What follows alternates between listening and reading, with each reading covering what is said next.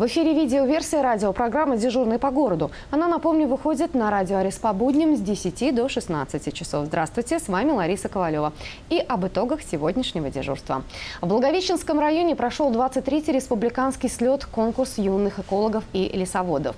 В этом году его участниками стали 23 команды, в состав которых вошли 100 учащихся, победителей муниципальных этапов, а также заочного этапа слета. В их числе кумертауские школьники. Юные лесоводы прошли теоретический тур и провели экологические исследования на заданных природных объектах. В результате Кумертауская школа номер 6 заняла второе место среди команд лесничеств. Победители награждены памятными подарками, команды дипломами. Далее, что касается происшествий. В Кумертау приостановлена работа строительной компании, которая незаконно наняла мигрантов. Это выяснилось в ходе прокурорской проверки, пишет сетевое издание «Стерлиград». Правоохранители выяснили, что в фирме по производству шлакоблоков работали трое граждан Узбекистана без соответствующего разрешения миграционной службы. Узбеки трудились в гаражном боксе и жили в смежном с ними комнате.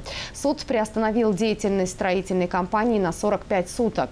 Как отмечается, после прокурорской проверки коммерческая фирма прекратила трудовые отношения с мигрантами.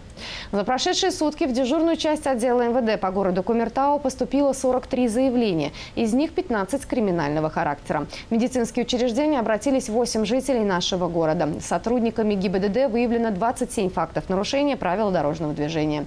Произошло одно ДТП с механическими повреждениями. С вами была я, Лариса Ковалева. На день сегодняшний все. Увидимся уже завтра.